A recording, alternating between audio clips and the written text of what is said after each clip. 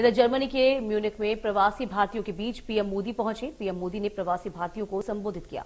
उन्होंने कहा कि पूरी दुनिया भारत को नई उम्मीद और विश्वास से देख रही है। भारत लगातार प्रगति के पथ पर आगे बढ़ रहा है और इसी का नतीजा है कि भारत ने विदेशी निवेश में नया रिकॉर्ड बनाया है।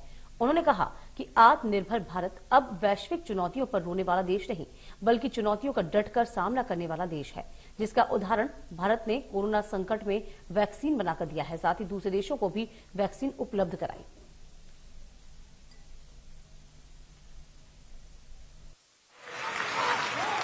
साथियों, पिछले साल हमने अब तक का, अब तक का हाईएस्ट एक्सपोर्ट किया है।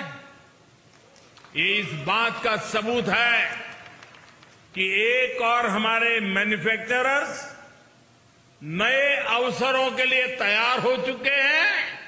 वहीं दुनिया भी हमें उम्मीद और विश्वास से देख रही है।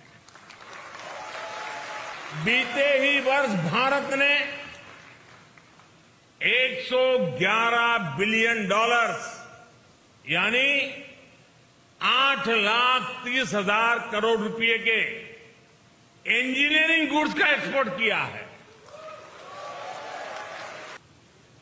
आपातकाल का कालखंड इमरजेंसी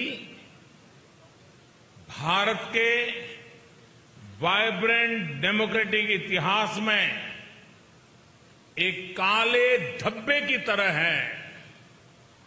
लेकिन इस काले धब्बे पर सदियों से चली आ रही लोकतांत्रिक परंपराओं की श्रेष्ठता भी पूरी शक्ति के साथ विजयी हुई लोकतांत्रिक परंपराएँ इन हरकतों के लिए भारी पड़ी है। भारत के लोगों ने लोकतंत्र को कुचलने की सारी साजिशों का जवाब लोकतांत्रिक तरीके से ही दिया।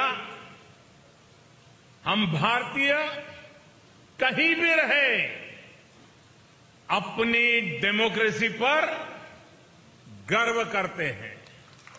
और हिंदुस्तानी गर्व से कह सकता है कि भारत मदर ऑफ़ डेमोक्रेसी है।